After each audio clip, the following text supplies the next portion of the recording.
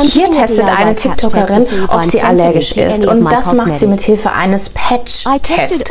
Das ist nichts anderes als Pflaster. Und diese Pflaster hat sie mit verschiedenen Inhaltsstoffen, also zum Beispiel Conditioner, Shampoo oder eben auch Nagellack draufgeschmiert. und die klebt sie für 24 Stunden auf die Haut. So funktioniert es eigentlich auch beim Arzt.